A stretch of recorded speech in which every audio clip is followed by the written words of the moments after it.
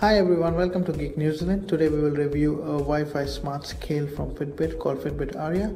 I did a review of Garmin smart scale a few months back and I got a lot of requests from Fitbit fans to review Fitbit Aria.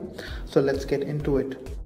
Now Fitbit Aria is a Wi-Fi smart scale which tracks your weight, lean mass percentage, body fat percentage and BMI. It uploads your measurements wirelessly to your Fitbit app on the dashboard.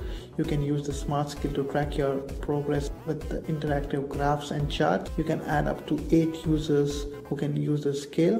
So if you're the primary user, you can add up to 7 more users to track their weight. Anyone else would try to take their weight, they will be just displayed as guest and even those recordings are visible in the app. Let's unbox it and see what comes in the box. The Fitbit Aria comes with the batteries and the finish is lovely. It's a premium glass stock. Great thing about Fitbit Aria is it works with all Fitbit trackers. So if you're already using it to track your steps, calories, active minutes, etc., when syncing with the Fitbit app on the dashboard, you will see how your activity trends impact your weight and body composition.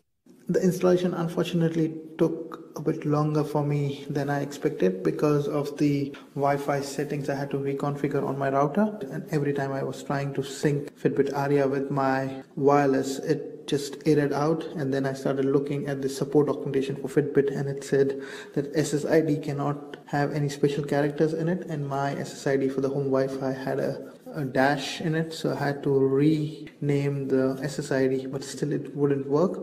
Then I had to change one or two frequency settings based on the Fitbit documentation in my router to get it going. So it took me a while. If you have some special settings on your router on your wireless modem you might have to read the Fitbit documentation to ensure you get it right. But for most of you it should just work out of the box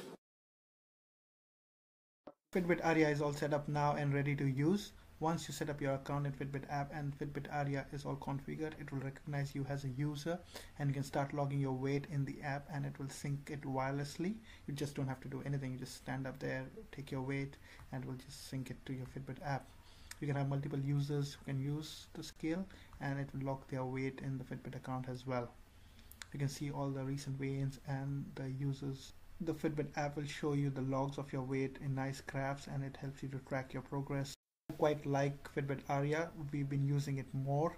Uh, we have a digital scale which we hardly use because we had to manually log our weights and we just forgot or you know it was just an hassle but with Fitbit Aria because of the wireless sync because we use Fitbit Charge 2 and Fitbit Blaze and other Fitbit trackers it just makes life easy final words if you are already in fitbit family or you're looking for a smart scale i think fitbit aria is definitely my recommendation. Thanks for watching the video. Please do like and subscribe my channel and please do keep sending me a review request